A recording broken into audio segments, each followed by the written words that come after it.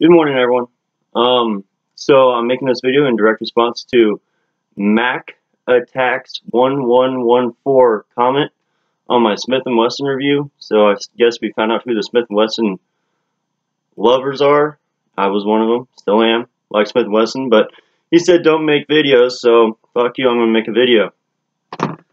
So what I switched to is a Glock 22.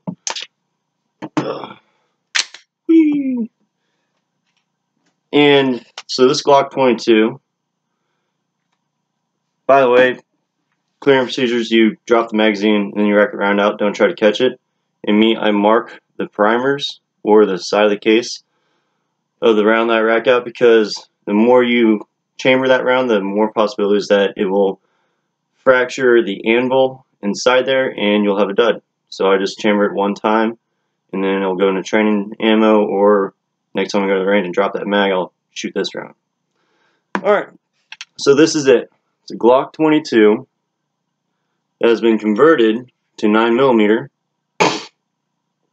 And so it's a Lone Wolf barrel in it, which was like a $100, I think, something like that. Stock spring, all stock internals except for the barrel.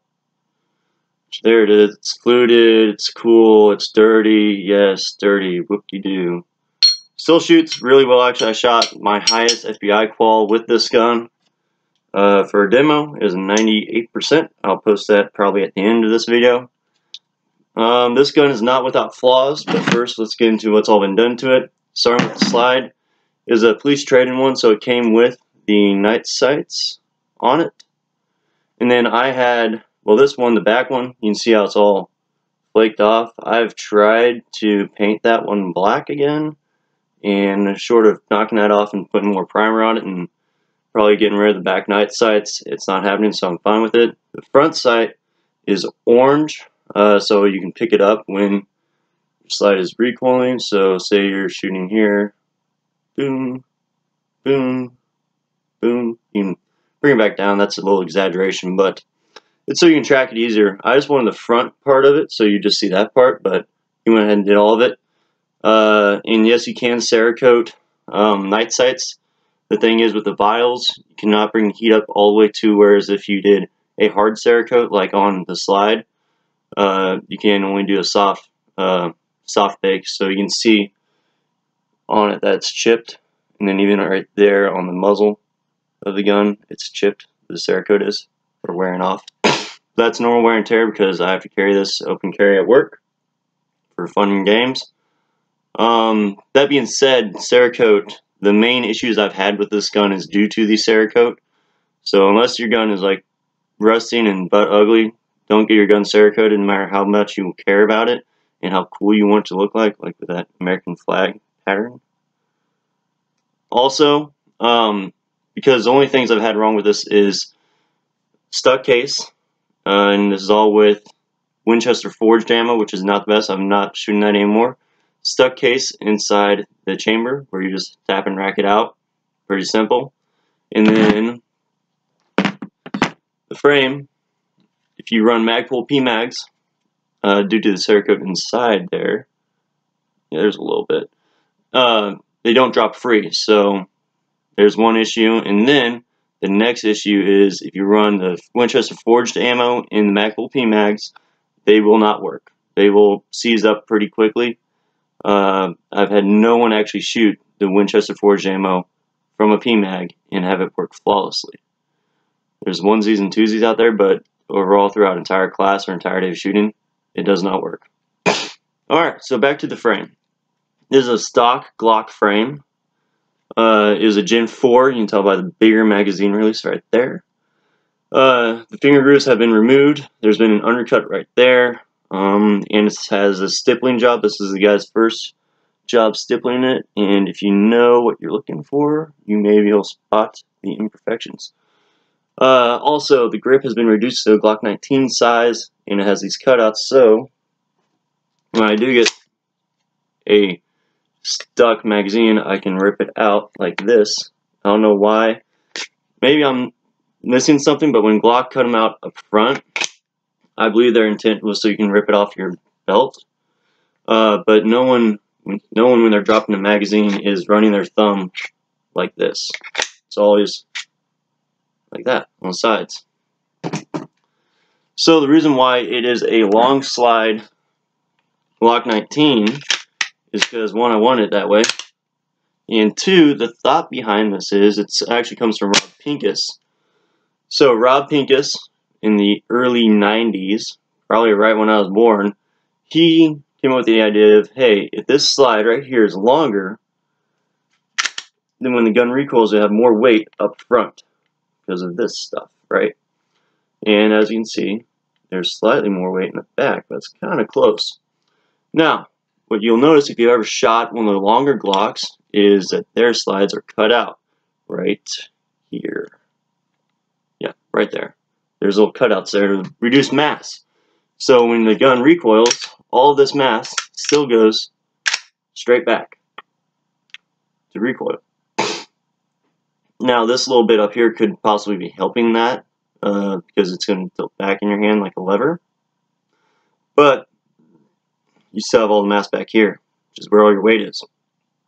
That's why the 19X, people say it's a really shootable gun because it has a shorter slide, less mass, reciprocating mass up here, longer grip so you can get a better hand on it. Um, the jury is still out. For me, this gun, I believe, points, and uh, it's easier for me to come back onto, well, basically rest my front sight in between the rear notch. That's this guy. Uh, easier because it, the weight is there. I mean, I think it makes a difference. Uh, what else? Oh, to piss off the Apex trigger guys, that's the stock Glock trigger on all of my duty weapons or all my weapons, I, or all my firearms, are not weapons, firearms, they're tools.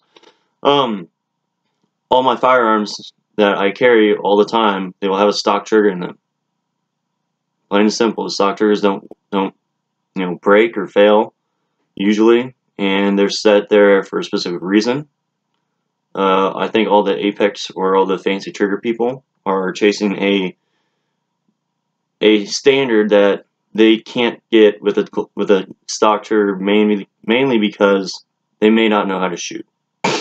That being said, I know Tom Givens runs Apex triggers and a whole bunch of other trainers use Apex triggers. They're great triggers, but they're just not for me. That being said, talking about chasing standards, that's why I have a Hiperfire trigger in my AR because I'm trying to chase quicker follow-up times and stuff like that, and it's like a two-pound trigger, which is way too light for a duty, but duty firearm. There's my trigger spiel. All right. Another thing that you guys hit me up on on the M&P one was like, oh my god, poor maintenance. So this gun, yes, I do know maintaining a firearm is is needed, but I've been the last four days cleaning all the rental guns at the range I work at, and they are way dirtier than this, and they still work. Yep. Um. So, and then the whole see how this uh, even on the on the Gen Five Glocks where they have an ambidextrous slide lock on it, the trigger bar does not contact the fucking slide lock. Okay, guys, that's that's a design flaw. And then the gun was giving me that malfunction within 500 rounds. Like, is like 400 and 300 rounds. It did start, stop, it would stop locking to the rear. this gun has not stopped locking to the rear at all, even with the Magpul P-Mags in it. Because it probably doesn't have that flaw. And this gun's stuck and soaked in carbon also, so there's no issues there. Um, the last thing I think we should get into is I don't know. It's a Glock. It works. Shoots. Pretty reliable. Or in reliability, actually. Uh, yeah. So for all the Glock people that were like, "Oh my gosh, he hates Smith and Wesson," or all the Smith and Wesson people that said, "Oh my god, he hates Smith and Wesson." I don't hate either of them. I shot both of them. I'm giving you honest reviews. This is what happens to them. Uh, and yeah, the oh, pulling out the magazine springs and stretching them yeah, that's a temporary fix. It's not permanent. And I don't want to have to buy new magazines after 6,000 rounds. Because I'm fucking poor white guy. But, oh, and speaking of prices and stuff, when I picked this gun up, I paid $380 for it at a gun show. I got all the Cerakote done for free because I was working for a Cerakoter. And this done for free because I was working for a Cerakoter. That being said, it took him about a year to get done because I was working for him, not paying him. But other than that, it works really, really well. Looks really good. Uh, the guy is still in business. I may or may not link him in below. He does fantastic work with wood and guns. That is my Glock 22 slash 19L review. Once again, let's have a shout out to our guy who left us a lovely comment. There's other ones out there, but this guy, he just hit it for me. Mac Attack 1114. Thank you very much.